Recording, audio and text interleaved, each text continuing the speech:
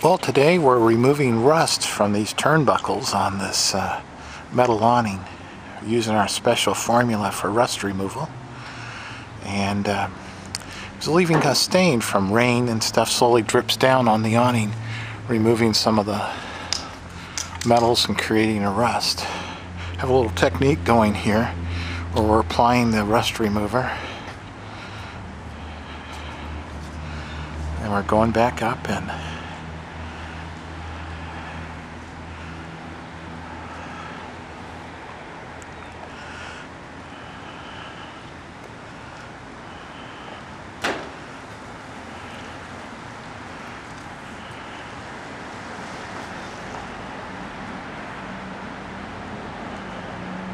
kind of a slow process, but it's getting done pretty quickly here. We'll be back to you in just a bit. Bye-bye now. Okay, we're just going over this the second time. How's it looking, Kat? Good. Excellent.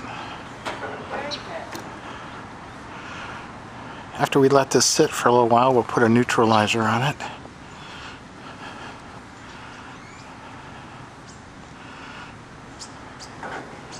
What we have is uh, two teams working here. One does the initial cleaning and then Kathy here on the second team is going over his work just to make sure it's all covered. Sometimes one person will miss something and the other person will get it, so it's good to have two different people, two different teams.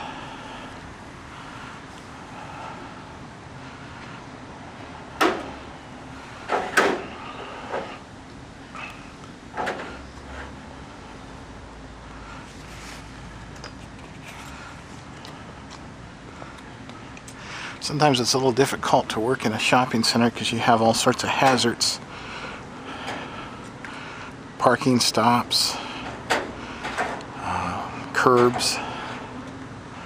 We're working early on a Saturday morning trying to avoid people. Even though this is a mild product, you still wouldn't want to get any on anyone. Okay, Kathy's about to need some more chemical on her the head of her brush here. So let me show you how dirty that is just from cleaning. Pretty amazing, isn't it? Okay, let me reload this and be back with you in just a bit. Well, on some of this we have to go back a third time because the chemical is uh, not cutting it the first and second time, but I think we'll be okay. Just fixing those spots that can't be done. I'm going to put some more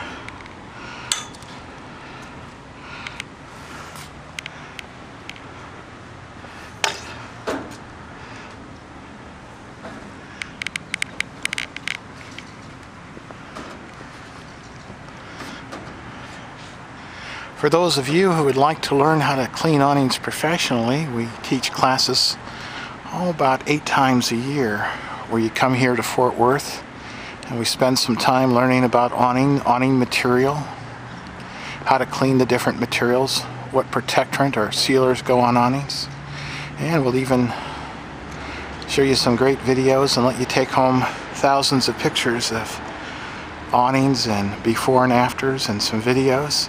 And of course lots of good teaching material things to give your customers invoices um, all the advertising thing to get customers.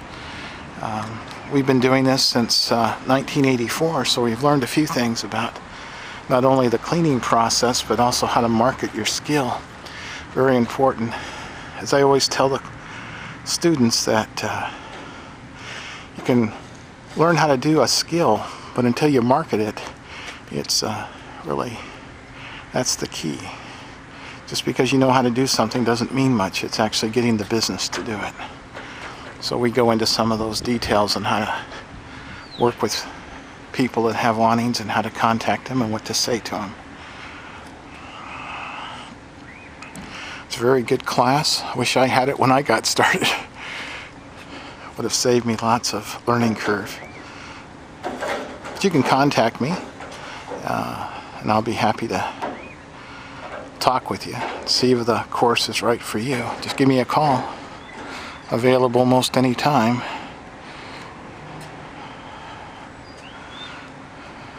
You can see this isn't uh, brain surgery really. It's just knowing a few things and how to approach it. We've had about, uh, oh, almost 500 people now go through the class and training over those years.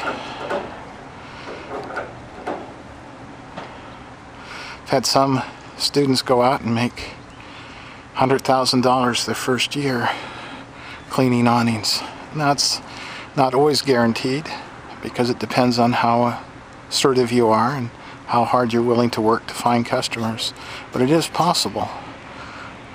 So, uh, can be done. Just uh, up to you how much work you want to put in. At first you'll just be finding lots of customers. You won't be uh, working a whole lot actually doing the cleaning. You'll be doing more of the uh, finding. But it's just like a farmer planting a field. You got to plant.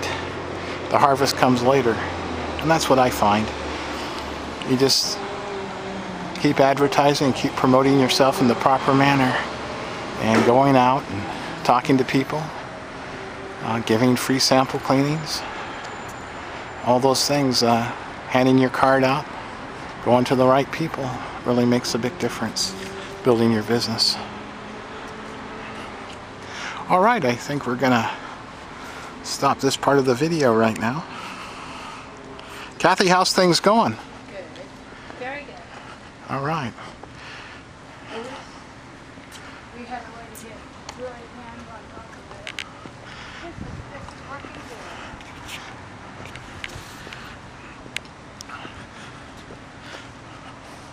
Job like this, like I said, is pretty unique. Generally, we don't do this much rust removal. There's always awnings that uh, have signage above it and the rain and dew will drip off the signs and often leave some rust. And generally that's on canvas awnings.